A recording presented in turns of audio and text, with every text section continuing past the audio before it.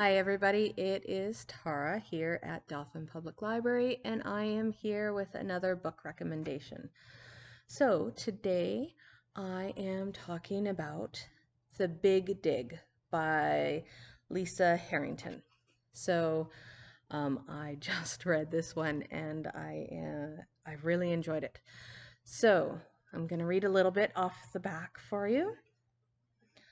Just as 14 year old Lucy is starting to figure out life after her mom's death, her dad ships her off to Cape John, where her mom grew up, for the summer.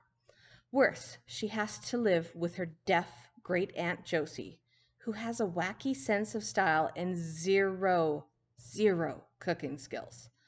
Soon, Lucy meets Colin, freshly moved from out west, who's digging an enormous hole in his new yard.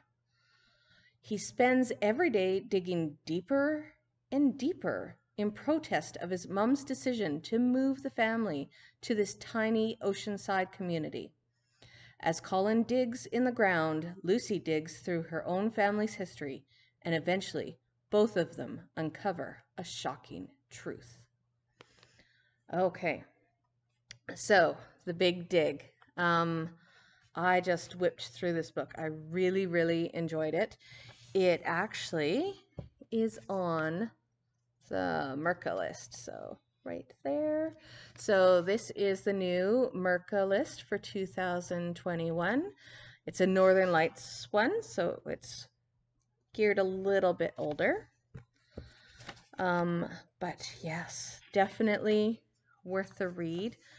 I don't want to say too too much about it. I just I just really I really enjoyed it and I would love to discuss it with you. So maybe check out the Big Dig and let me know what you think. Bye for now.